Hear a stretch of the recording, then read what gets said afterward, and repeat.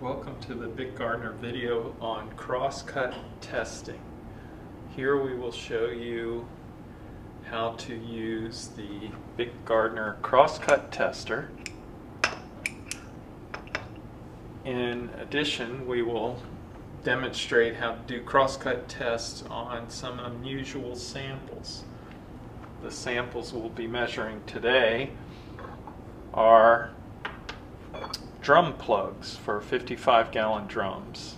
These are coated and we want to determine whether the coating is adhering properly to these drum plugs and so we're going to set up a test to measure those.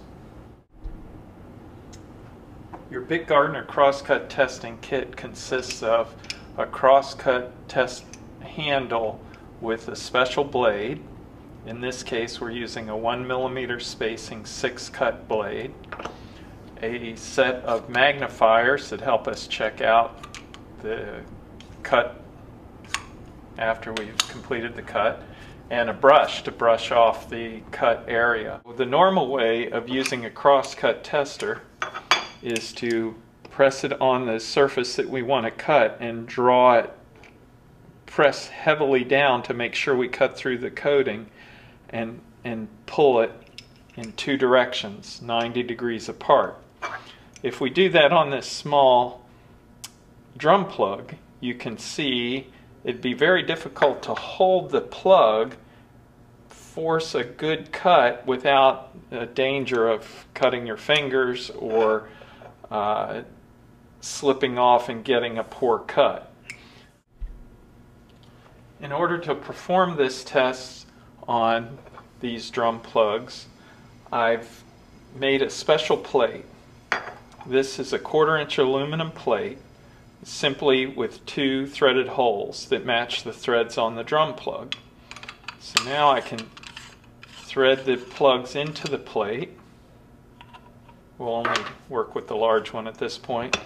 And now I have a much larger surface where I can hold the plate, draw my cut, my cutter across, rotate it 90 degrees, and draw the cutter again without danger of cutting my fingers or slicing up the tabletop. Before we start making the actual cuts, let's like, take a closer look at the cutter. The crosscut tester has a handle that holds a blade. The blade holder portion swivels slightly to automatically align the cutter blades with the surface that you're cutting. As you can see, there are several blades.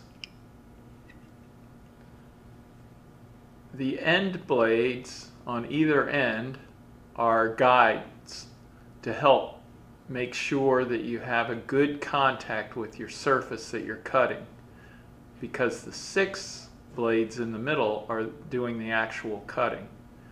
We're going to make one cut all the way through the uh, coating to the substrate in one quick motion.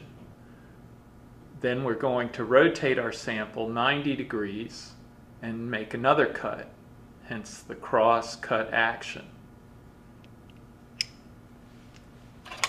So here's our sample mounted into our block. I'm going to turn this slightly so we get a good, good view.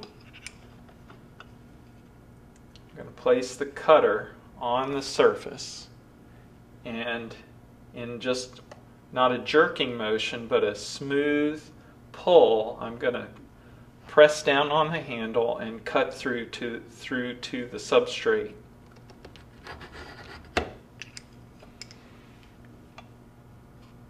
Now you can see that there's a series of cuts that go clean through to the surface. Now I turn it 90 degrees, press the cutter, press down hard, do another cut. Now you can see that I have cut through the material completely.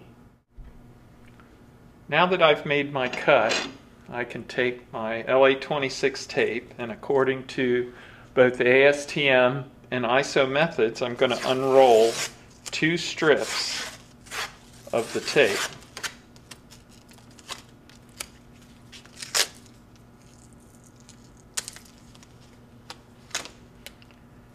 And then pull off without jerking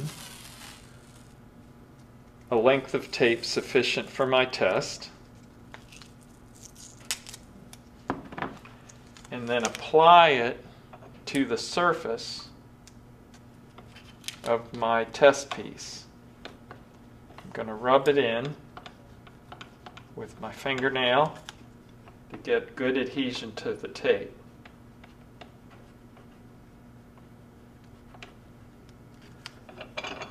Now, we're going to pull the tape off at an angle, 60 degree angle according to the ISO specification, 180 degrees if you're using the ASTM specification. We're going to pull it off without jerking, but we need to pull it off with one to two seconds, within one to two seconds.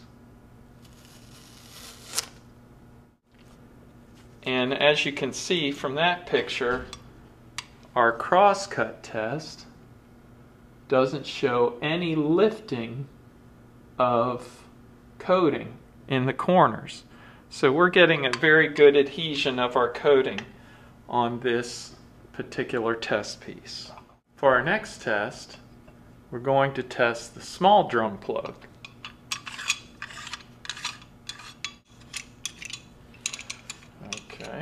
Part in.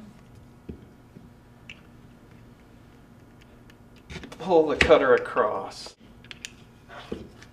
And then rotate it 90 degrees. Press down. Pull the cutter across. So, with a little bit of practice, we should be able to get a good cut. If you need to inspect the scratches closely,